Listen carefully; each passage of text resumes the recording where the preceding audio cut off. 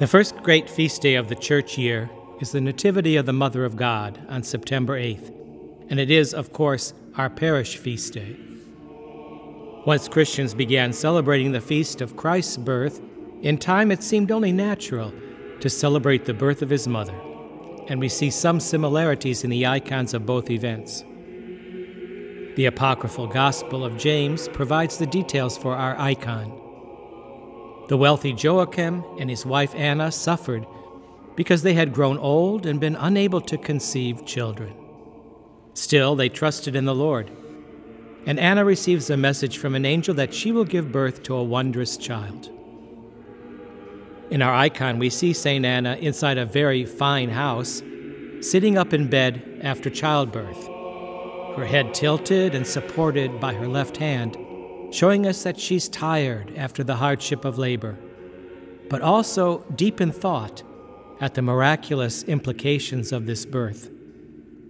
The draped cloth at the top tells us this is an indoor scene. One of the housemaids offers her some food, and two maidens attend to her, one carrying a fan to cool this new mother from the heat of the day. We see St. Joachim at the upper right, looking through a window at the scene below him. At the bottom, two midwives prepare to give the newborn baby a bath, and one of them tests the temperature of the water with her hand. As always, children and icons are painted looking like adults, only smaller in size. The scene is tranquil and calm, but filled with vivid and rich colors to express the joy of this birth. The Theotokos, the God bearer, has come into the world. At Vespers, we sing, Today let Anna, barren and childless, clap her hands with joy. Let all things put on their brightest and best. Anna says, The Lord has given me the palace of his divine and living glory to be a place of joy and happiness for the whole world and for the salvation of our souls.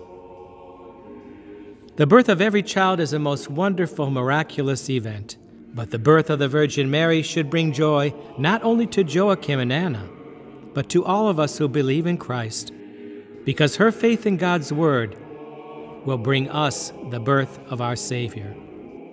And our faith in Christ's Word will bring us salvation.